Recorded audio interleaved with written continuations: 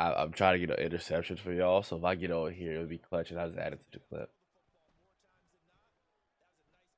Give me that ball. What I tell you? What I tell you? You can ring my bell, Kearse. You can ring my bell. Ring my bell. That's definitely going to get Kearse gameplay. That's what I needed. Cause you can ring my. Look at Troy Aikman ugly